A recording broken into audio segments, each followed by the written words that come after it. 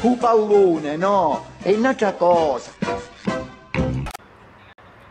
Eccole le due formazioni disposte a centrocampo. UFR in maglia bianca, Orone Ognissanti in eh, divisa giallo-blu. Comincia Orione Ognissanti, UFR. Corner giallo-blu, forte sul secondo palo. La spizzata di testa, la palla rimane lì e c'è il tapin vincente del numero 9 giallo-blu. Il gol di Andrea Fragasso. Luciani con le mani, trova dietro il solito Bona, Savelli, nuovamente dal 22. Lancio di Bona alla ricerca di Oldani. Arriva il numero 30 a metà fra il difensore e il portiere. Arriva prima di tutti e la mette dentro per il 2-0. Il gol di Oldani. Di prima combina bene l'UFR a balle. Tocco dietro forse proprio per Mataraccia, sì. Antonini sulla sinistra, sono tante le maglie bianche. Antonini guarda dentro dalla, dall'altro lato dove arriva comunque il numero 10 Rotondo. Cerca di trovare spazio per metterla dentro il pallone. Arriva sul primo palo, ha cercato la deviazione il numero 16 Capasso, non è riuscito a deviarla in rete. Rimessa bianca, viene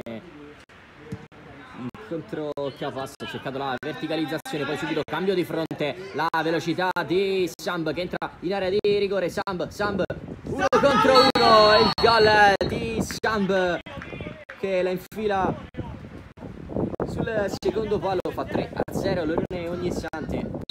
Comincia ora il secondo tempo. Forte stavolta l'Orone ogni istante partite invertite rispetto al primo tempo cui giallo-blu che vanno ad attaccare da destra a sinistra UFR da sinistra a destra dietro per il numero 26 carica il mancino! E c'è un gol bellissimo.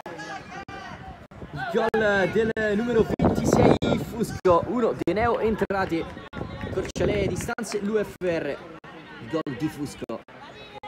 Calcio di punizione giallo-blu parte Bona col destro in porta diretto. La respinta poi incredibile chance per il numero 17 Grossi che col mancino non riesce a inquadrare la porta da vicinissimo.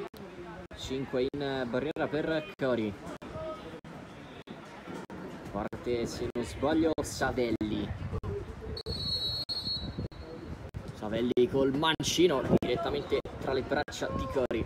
Uh, Matteo Giunta, poi arriva lui Ferrari a conquistare il pallone con Diego Catino, ha cercato il filtrante che non passa, pallone arriva da Fragasso, arriva lui in anticipo, sterzata del 9, aspetta qualche compagno, sono pochi, le finte di Fragasso, prende tempo e aspetta Breschini, arriva il 26, sovrapposizione di Samb, Quasi sulla linea di fondo, la mette dentro Fragasso, controlla, sposta il pallone, Fragasso!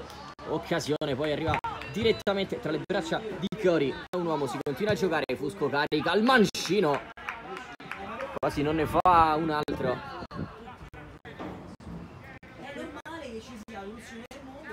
Rotondo contro Capodagli.